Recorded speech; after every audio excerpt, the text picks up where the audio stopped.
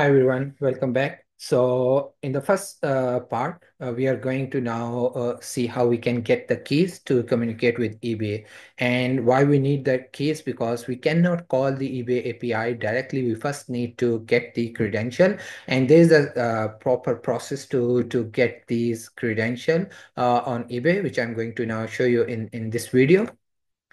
So we need to go to uh, developer.ebay.com and they have a proper process where you need to apply and they will uh, uh, approve your request. And after some time, you'll get your keys. And once you get your keys, you're going to get your ID, client ID and client secret. And based on that client ID and client secret, we can generate the, uh, uh, the JWT token. And like I mentioned in the previous video that once we get the token, we are able to communicate with, with, the, with the eBay uh, And we can go through all all the steps that someone do on the portal. We can definitely replicate the same same scenario uh, through the apis uh, and we can integrate it with with our own solution. So the, uh, the, uh, uh, the architecture we generally implement as part of our integration models right? So you can, i'm going to put that link in the in the description and you can uh, apply for your own keys. I've already got my keys. I've already used them. I've tested them. So what i'm going to i'm going going to use the sandbox and you can see I haven't actually generated the production key because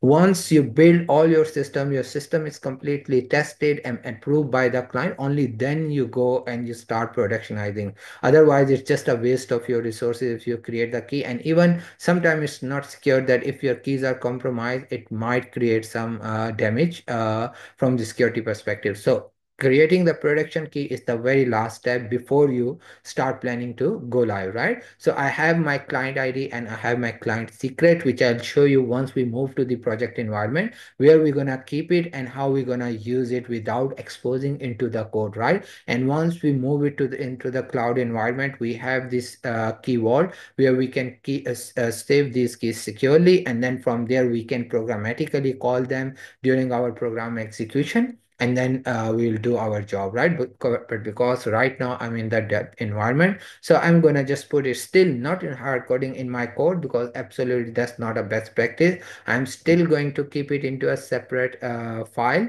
just to mimic that. Okay, the if someone get my code, it's not going to show them uh, the keys or the security information that I'm using to communicate with the eBay, right? So that's the that's the first thing.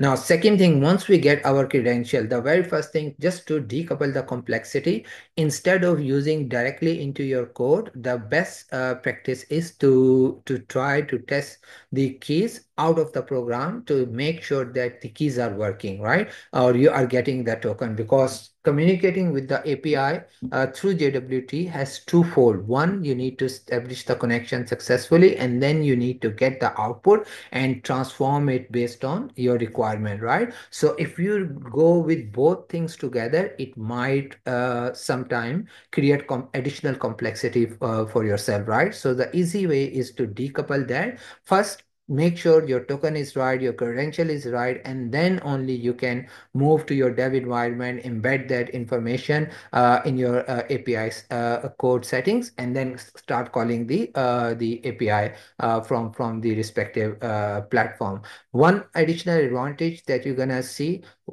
whatever outcome you are getting as part of the external testing of your API using that credential, you're going to see the same outcome once you programmatically call that API. So as you know, the Postman is the, the most popular uh, platform to create and test API and verify your credential. So in the same uh, way, I'm also going to use first the Postman. I'm going to show you how you can uh, create and uh, uh, your uh, uh API calls uh, through the Postman to the eBay API, and then uh, how you are going to get the token and how you can test that test the validity of that token. So that that's that's the whole concept of of getting the the the JWT token using the application keys. So I'll I'll separate that video from this one because I don't want to mix two concepts together. So in the next video, I'm going to show you how you can uh, use the Postman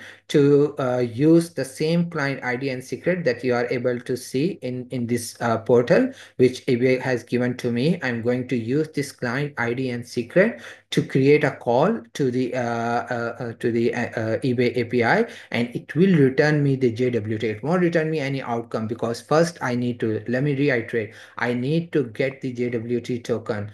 Based on JWT token, I'm going to authenticate and authorize myself to start communicating with eBay right? So that that's the that's the uh, first step we have uh, covered as part of this video. And in the next video i'll show you how you can do it through through the postman. Uh, so stay tuned. Thanks for watching. I'll see you in the next one